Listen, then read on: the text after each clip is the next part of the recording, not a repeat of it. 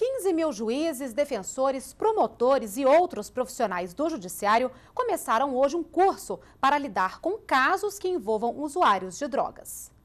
A aula inaugural foi hoje no Conselho Nacional de Justiça. O curso inédito sobre drogas e sistema de justiça faz parte do programa Crack é Possível Vencer e teve início com uma teleconferência aberta pelo ministro da Justiça, José Eduardo Cardoso, pelo ministro Aires Brito, do Supremo Tribunal Federal, e pela Corregedora Nacional de Justiça, ministra Eliana Calmon.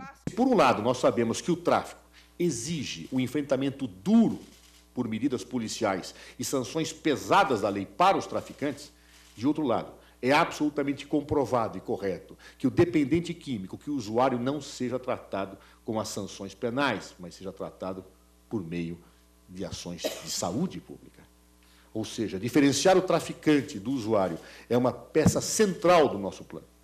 O curso de capacitação é promovido pela Secretaria Nacional de Políticas sobre Drogas, a SENAD, e pela Secretaria de Reforma do Judiciário, ligadas ao Ministério da Justiça.